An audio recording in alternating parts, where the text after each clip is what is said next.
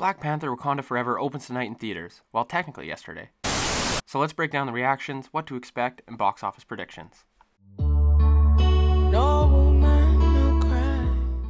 I gotta say, Wakanda Forever is the most excited I've been for an MCU project in quite some time. Some of their latest releases, whether theatrical or Disney Plus, haven't quite done it for me, which I have an upcoming video on this channel regarding my feelings on the current state of the MCU, so stay tuned for that. However, the first trailer for Black Panther Wakanda Forever blew me away.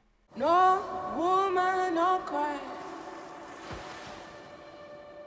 Other than a few quick shots in the trailer, it just felt so different than your typical MCU entry. Tems in the background vocals as it beautifully collides with Kendrick's Alright as the action begins to pick up. The cinematography, costume design, the whole aesthetic just appeared as much more of a director focused film as opposed to some of the corporate green screen filler I would describe some of the previous projects as. So safe to say I'm stoked for this film. Unfortunately, I live in a remote location with no theaters nearby, so I can't check it out with all you guys this weekend.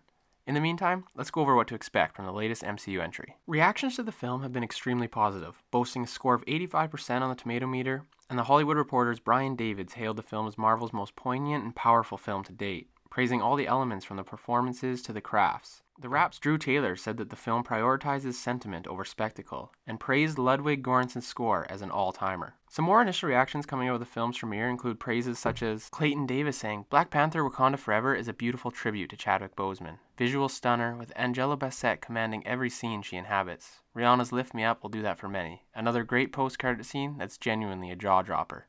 This reaction says Wakanda Forever will take you on a roller coaster of emotions. While Chadwick's absence is felt, the cast performance is phenomenal. The journey and mourning each cast goes through is felt through the film. Tons of action, Namor is fantastic. Steven Weintraub says, Another reason I'm so impressed with Black Panther Wakanda Forever is Ryan Coogler had the impossible task of trying to make a sequel without Chadwick Boseman and make it feel respectful, but also keep the franchise going, and he hit a home run, going to be a huge hit for Marvel. This reaction says Wakanda Forever is bigger in scope and scale than Black Panther, but its story is also one of Marvel's most intimate and heartfelt. It's definitely a comic book movie, but it's one that centers grief and the grieving process rather than superheroics and spectacle. And Brian Davids fleshed out his thought saying, Black Panther Wakanda Forever is Marvel's most poignant and powerful film to date.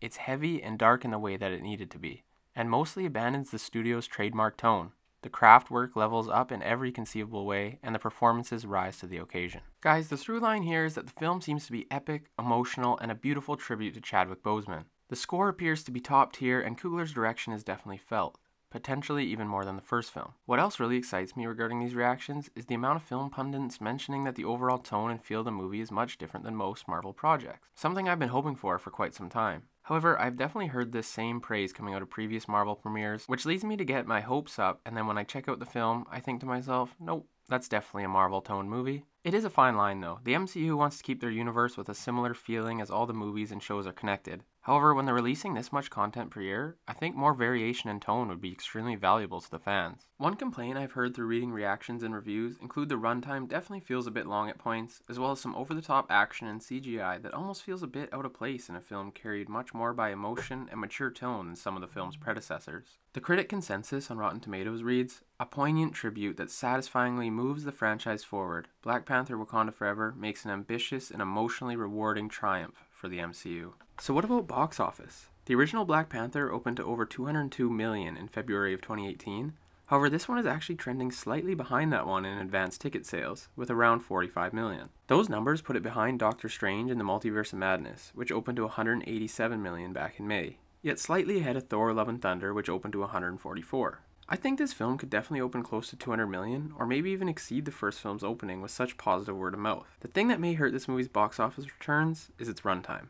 Coming in at a whopping 2 hours and 41 minutes, Wakanda Forever represents the second longest film in the MCU, with only Avengers Endgame ahead of it at 3 hours and 2 minutes. That length will limit the number of showings each theater can have.